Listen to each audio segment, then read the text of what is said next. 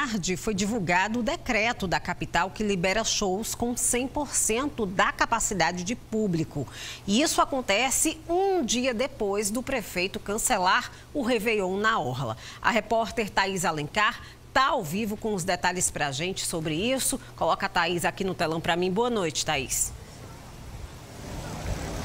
Oi, Karine, boa noite a você e a todo mundo. Inclusive, nós estamos na Orla, viu? Onde poderia acontecer aqui o show, né? Que a gente lembra que ele foi cancelado, então, esse show do Réveillon aqui na Orla. Uma noite até movimentada. Lembrando que hoje, né, meio de semana, tá até movimentado por aqui, um movimento considerável. Mas a gente lembra, Karine, que o decreto libera aí a realização de shows com 100% da capacidade de público já a partir do dia 21 de dezembro. Então, que fique claro, o show do Réveillon aqui na Orla. Ele foi cancelado, tá? O prefeito já anunciou isso ontem, mas esses shows privados, eles poderão acontecer e aí tem toda uma programação que está lá no portal t5.com.br, onde você pode ver que tem a data de limite para que cada evento possa acontecer, liberando a capacidade. A gente sabe que já no dia 21 de dezembro, 100% da capacidade então de público pode acompanhar. A gente lembra também que os bares e restaurantes, eles poderão funcionar aí de 6 horas da noite, né, da manhã desculpa,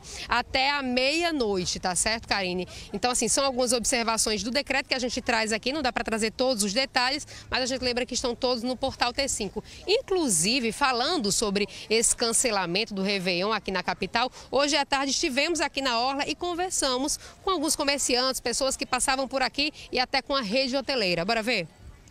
Nessa segunda-feira, a prefeitura anunciou que a festa de Réveillon que estava sendo preparada na capital foi cancelada. O motivo do cancelamento é evitar aglomeração. As tradicionais